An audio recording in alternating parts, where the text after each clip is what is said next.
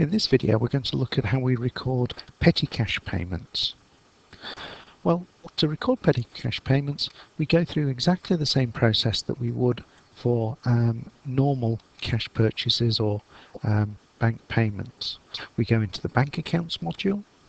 This time as the payments are being made out of petty cash I will select petty cash then go up to the payments icon up at the top. There's a little drop down uh, list below it.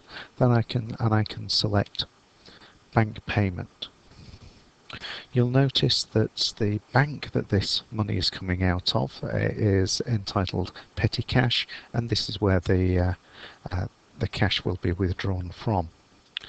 So in our bank column I'd make sure that the petty cash um, nominal code was selected.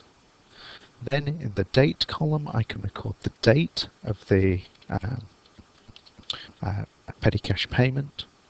Uh, in the reference, we would uh, record the uh, petty cash voucher that where the uh, payment is recorded. I might have an extra reference. And then in the nominal code, I would identify the um, appropriate code to set this payment against. For instance, if it was uh, a payment for um, postage, then I would see if I can find an appropriate um, uh, code for that. So I'll select postage and stationery. I'll leave the next three columns blank as um, we're not covering uh, departments, project references or cost codes on this course.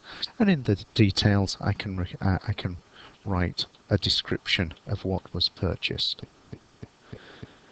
In the next column I would record the net amount uh, of the payment.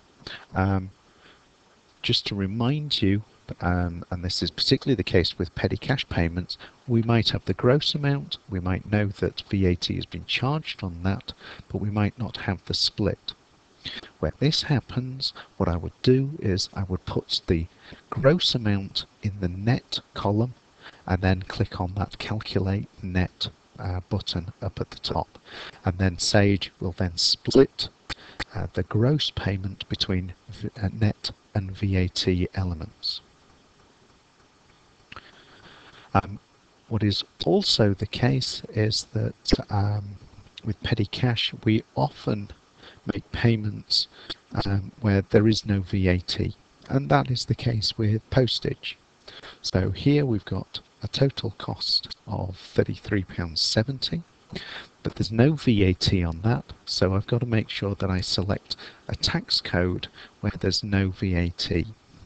Um, I'm going to select T code T2 for postage and there we can see that um, Sage has now got rid of the VAT element on that uh, particular um, petty cash payment.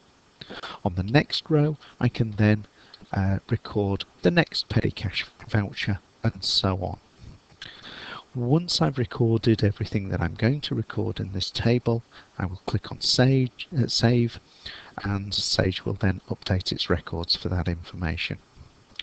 And that is how we record petty cash payments.